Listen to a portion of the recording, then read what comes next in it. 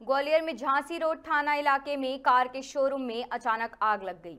आग लगने की घटना से हड़कंप मच गया। शोरूम पर मौजूद कर्मचारियों ने इस घटना की सूचना समय रहते तत्काल फायर ब्रिगेड को दी। मौके पर पहुँची फायर ब्रिगेड की सात गाड़ियों ने कड़ी मशक्कत के बाद आग पर काबू पाया।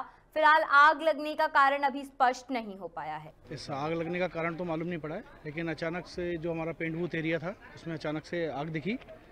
तो उसकी वजह से वो एकदम आग बढ़ गई और हम लोगों ने फ़ोन करा फायर ब्रिगेड को और हमने अपने जो हमारे पास सिलेंडर होते थे, उसके, उससे भी हमने बुझाने की कोशिश करी, लेकिन आग ज़्यादा थी तो इसलिए वो उससे काबू नहीं हुई। ए एस एम शोरूम में आग लगी थी, जिसमें पेंट सेक्शन जो होता है, जहाँ पर पेंट थिनर का काम होता है गाड़ियों को पेंट किया जाता है, उस सेक्शन में आग लगी थी।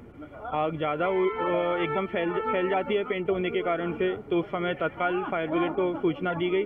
तत्काल फायर ब्रिगेड मौके पर आई करीब करीब सात गाड़ियाँ मौके पर आ गई हैं।